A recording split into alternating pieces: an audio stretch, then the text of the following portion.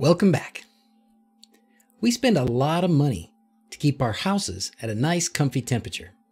So it makes a lot of sense that we pay close attention to our climate control system. That's probably why one of the first big deal smart home devices was a thermostat. But for 250 bucks, I bet we can DIY ourselves something just as good for a whole lot less. So in the next few minutes, I'll show you how to build your own smart thermostat. The hardest part is going to be thinking of a clever name.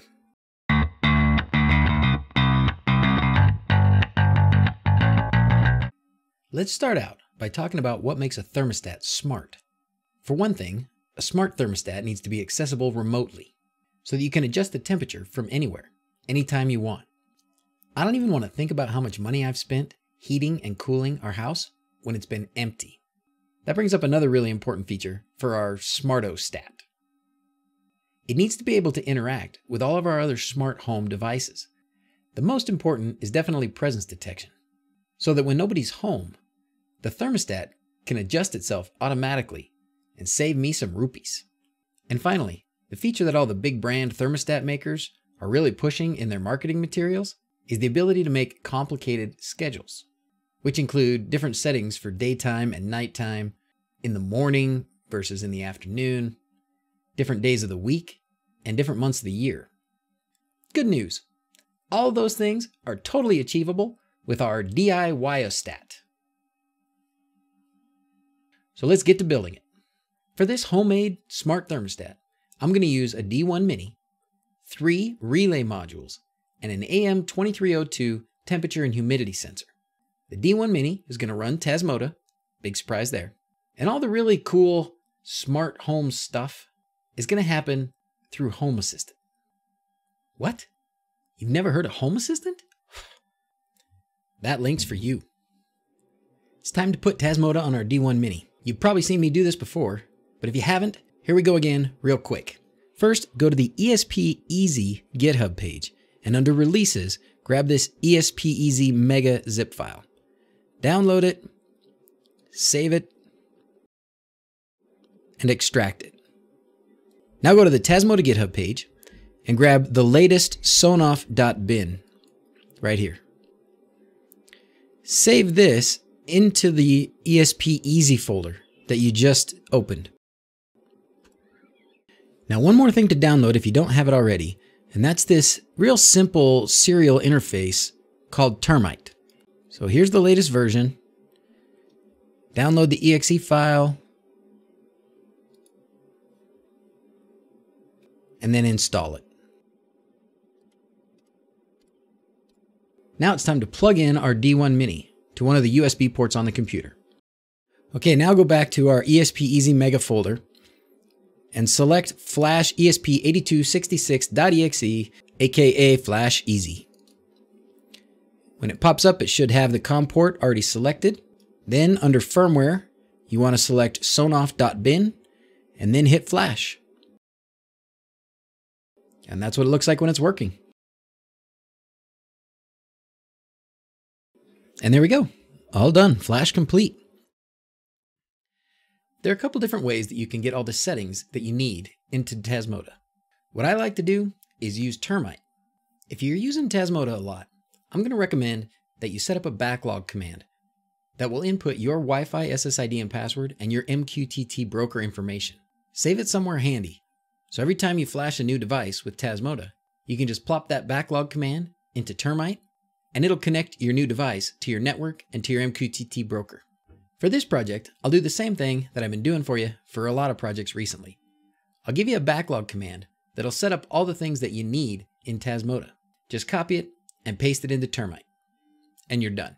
The other way to configure Tasmota is to get on a Wi-Fi enabled device, look for a new Wi-Fi network called Sonoff something something, connect to it, and then put in your Wi Fi SSID and password. After that, it'll connect to your network. Go to your router, find the IP address, put that IP address into your browser, and it'll open up the Tasmota main page. In Tasmota, we're going to set the module type to generic. The pins we're going to use for relays are D1, D2, and D8. And then we're going to use D5 for the temperature sensor.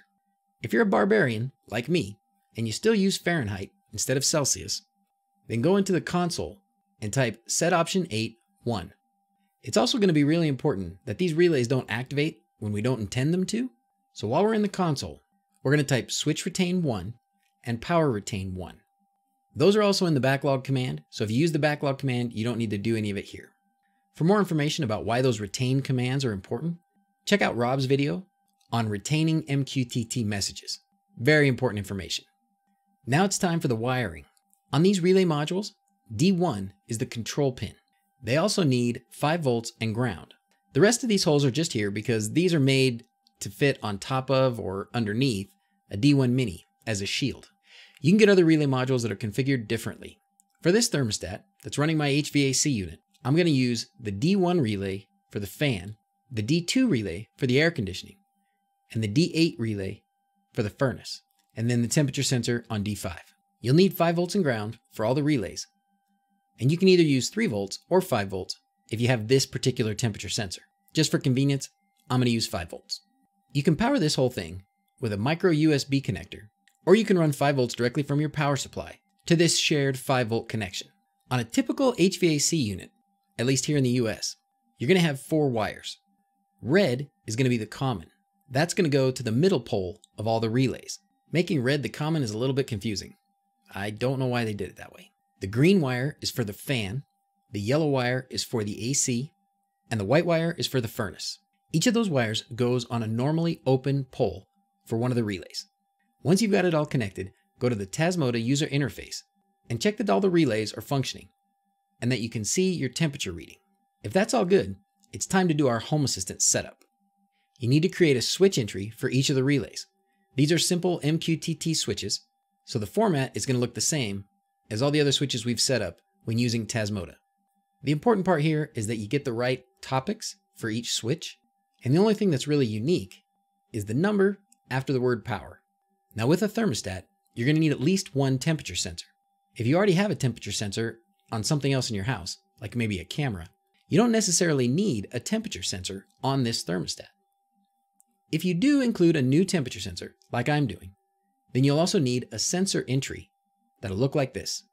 The temperature from this sensor will get updated every time Tasmota publishes to the Tele topic. By default, Tasmota will publish to the Tele topic every 5 minutes. To shorten that time, go into the Tasmota console and type Tele period and then the number in seconds of how often you want it to refresh. I think the lowest you can go is 10. So I set my Tele period to 10. That way I'll get a new temperature reading every 10 seconds. Now I've got a few different temperature sensors in the house, mostly coming off of our Blink cameras. I want to average all of those temperatures, so I'm going to use a min-max sensor entry. And it looks like this. Under Entity IDs, I just list the temperature sensors that I want to include in this average. Simple as that. The next step is to set up the basic thermostat. To do that, we use the Home Assistant Climate component. The platform is generic thermostat. Then we give it a name. The heater is the switch that this thermostat entry is going to control. Now, unfortunately, as of right now, each climate entry can only control one switch. So if you have heat and air conditioning, we're actually going to need to set up two climate entries. This first one will be for the heat, the next one will be for the AC. For the target sensor, I'm going to point it at my min-max sensor to get the average temperature of the upstairs. Min and max just set limits on the thermostat. Min cycle duration will specify a period of time that you want the unit to run every time it's triggered to turn on. In this example, it'll run for 15 minutes every time it turns on before it turns back off again. That makes sense. Here you can set a target temperature and an away temperature. There'll be a button in the user interface that you can switch to easily set this thermostat to away mode. Of course, we'll also use that for automations. The entry for the air conditioning looks pretty much the same. Of course, the target temperature and the away temperature are different, and then at the bottom, you have to put AC mode true so that it knows that it's an air conditioner. I think that's everything we need for the configuration.yaml. Now, as you probably know, YAML is very unforgiving, and that's a lot of YAML we just typed. So go back and double check that you got everything right. And if you think you did, save it, then go to Home Assistant, run the configuration checker, and if it checks out okay, restart Home Assistant. When it comes back up, you'll see two new climate entities. With your D1 Mini and your relays still plugged in, you can test it out here in the user interface. make sure everything's working. If you really want a Nest-like thermostat interface, there's a really nice looking custom card for Lovelace. If you've never heard of Lovelace, that's the new user interface for Home Assistant. The thermostat card is one of the custom cards. So to get it, we need to go to GitHub and download the repository, extract it, then copy thermostat-card.js into your www folder in Home Assistant. That's going to require that you have Samba set up. But again, this whole thing is assuming that you already have Home Assistant set up. So if any of these steps seem confusing to you, go back and check out one of the other videos. Once you've got that thermostat-card.js file copied into your www folder, you need to add these two lines to the top of your ui-lovelace.yaml file. This custom card is a module, not a JS. That stumped me for a while, but now it won't stump you. You're welcome. Now decide where you want this thermostat card to show up in your Lovelace interface. I'm going to put mine on the picture entity that contains all the stuff on our second floor. This is what the entries look like. Use style to locate it in the right place and width if you want to change the size. Got it? Good. Now we need to make a few automations. The first automation is to make sure that our air conditioning and our furnace don't ever run at the same time. And we're also going to add a second action so that anytime the air conditioning or the furnace is on, the fan will be on also. You'll still be able to run just the fan, but you'll never be able to run the AC or the heater without the fan. These two automations are really critical. You don't want to skip these or you could damage your HVAC unit, and that would be bad. Really bad. These next couple automations are optional, but these are the ones that are really going to make our thermostat more smarter. This first automation is going to set both the air conditioning and the furnace to the away mode whenever my phone and my wife's phone are not detected at home for more than 24 hours. This is our little vacation safety net. If we leave the house and forget to put the thermostats into away mode, this automation will take care of it for us.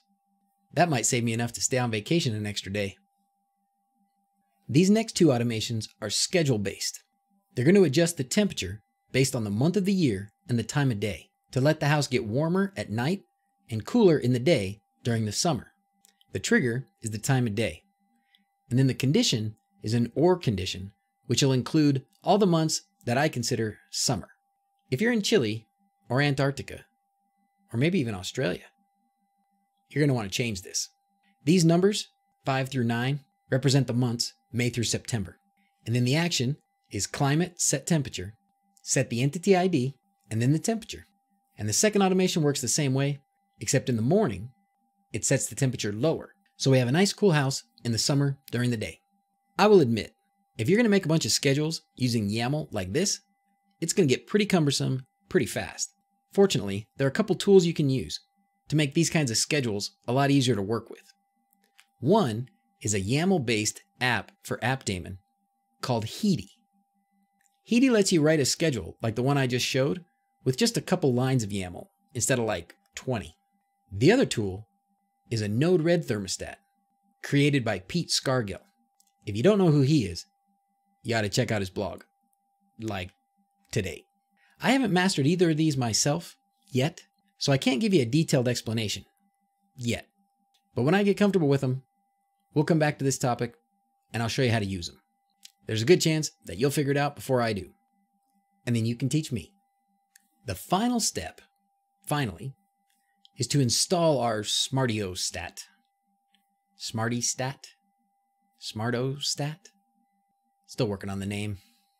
To install my thermostat, I bought one of these switch boxes, cut a hole the size of the switch box out of the drywall, and then got a blank faceplate, cut out just enough of it for the temperature sensor to poke through. When I finally stuffed everything in there and mounted that faceplate, it looked pretty good. I got two thumbs up from the missus. Can't ask for more than that. As I said before, in most houses with an HVAC unit, you're going to have a red wire, a green wire, a white wire, and a yellow wire. The red is going to be attached to the common pole of the relays, and the other colors are going to go to the normally open contacts. Some systems may also have a blue wire that'll be carrying 20 something volts from your HVAC unit to the thermostat. Unfortunately for me, that wasn't there. So I'm powering mine with a micro USB cable poked through the backside of the wall. Not the most elegant solution, but it'll work. Of course, you better check the wiring in your system before you really connect anything. Open up your AC furnace and look at where the different colored wires are attached. Get out your voltmeter and test them if you need to. When you've got it all wired up, it's time for the final test.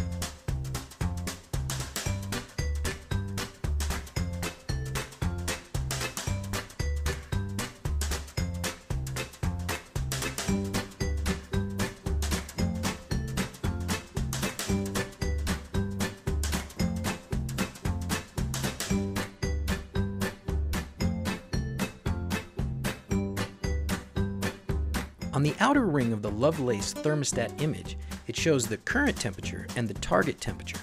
If you adjust the target temperature in the climate entity in the Home Assistant interface, it will adjust that target temperature in the Lovelace thermostat image, and vice versa. Well, that's it.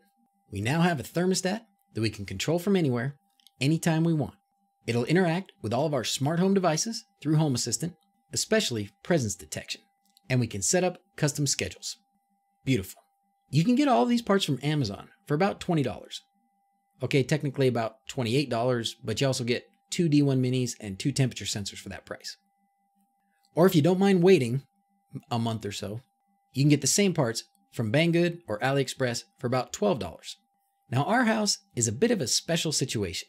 There's probably no use showing you in this video since it's not going to really apply to very many people. But if you want to see how I did my system, I'll talk about it in the next live stream. If you missed the stream, don't worry, it'll stay available so you can watch it later. Speaking of live streams, I try to do one at least weekly, usually on Sunday. I try to alternate the time to accommodate people on different sides of the planet. If you want to get an alert when the live stream starts, click the little bell. If you need help or just want to chat in between streams, go to the Facebook page or Discord. And there's always Twitter and Instagram. And if you want to support my early retirement fund, there's Patreon. Thanks for your support. And a special big thanks to everybody who helps out on Facebook and Discord, answering other people's questions and just lending a hand. There is absolutely no way that I could do all of this by myself. So thanks a bunch, guys. Well, that's all for now. As always, thanks for watching. Until next time, adios.